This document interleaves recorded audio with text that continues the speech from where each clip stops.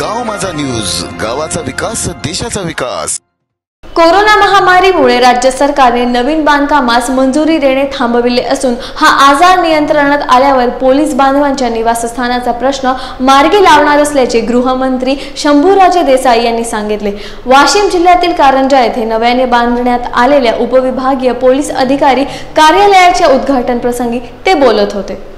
कारंजा येथे नव्याने उभारण्यात आलेल्या उपविभागीय पोलीस अधिकारी कार्यालयाचे उद्घाटन शंभूराज देसाई यांच्या हस्ते करण्यात आले. वाशिम जिल्ह्यासह राज्यात अनेक ठिकाणी पोलीस कर्मचाऱ्यांची निवासस्थाने नव्याने उभारण्याची गरज आहे. आज कोरोनाच्या संकटांमुळे हे काम थांबले असून हा आजार आटोक्यात आल्याबरोबर पोलिसांच्या निवासस्थानाचा प्रश्न मार्गी लावणार असल्याचे यावेळी देसाई यांनी सांगितले. आमदार राजेंद्र पाटणी यावेळी उपस्थित होते. गाव माझा न्यूज करिता अंकुश कडू कारंजा.